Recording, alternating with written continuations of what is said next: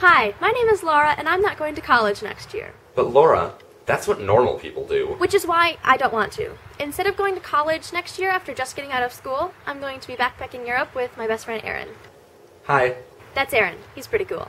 Hi, my name is Aaron, and next year I'll be backpacking Europe with my best friend Lorah. We're hitting 20 countries in six months by WWOOFing. WWOOF stands for Worldwide Opportunities on Organic Farms. We'll be staying on farms and helping out working for Free Room and Board. And couch surfing. Couchsurfing is an online organization where people volunteer to put you up in their homes while you're staying in their country so you can get a better idea of what life is like there. I was getting there. Our goal is to get the non-touristy version of wherever it is we're going and see what life is really like there. We've been planning this for over two years, and we're really excited that the day is almost here. On August 28th, we have one-way tickets to Barcelona, and we'll be staying there for a week. Before hitting Andorra, A cute little country in the mountains between Spain and France. and then off to Florence, Italy, where we will be working on a vineyard for three weeks. I'm so excited. Our next stop is a town outside of Toulouse, France, where we'll be making goat cheese for three weeks. That will be interesting. Then up to Paris for a couple days. Lorah didn't want to go there because she's already been, but I haven't, so I begged. After Paris, we're going to be going to the UK for two weeks. But I don't know where because I left that planning up to Aaron and it hasn't happened yet. Hey, I'll get to it. I've been busy. I know, I just like having control over the planning. And after we have a wonderful time in the UK, we're stopping in Dublin for four days before heading over to the west coast of Ireland to work on a nature retreat for four weeks. And then we're flying to Geneva, or somewhere around there, to spend four days in Switzerland. Before going to Vienna for Christmas. I insisted on this one. She did. After New Year's, we're going down the coast of Slovenia for a couple of days before heading down a little further south into Croatia or Serbia for three weeks working at a bed and breakfast.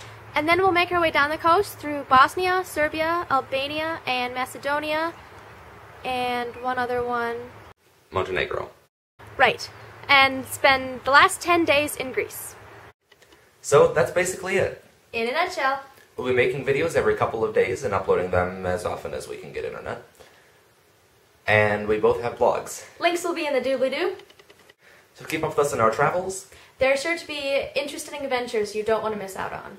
You're welcome to live vicariously through us as we travel Europe for six months and try to survive.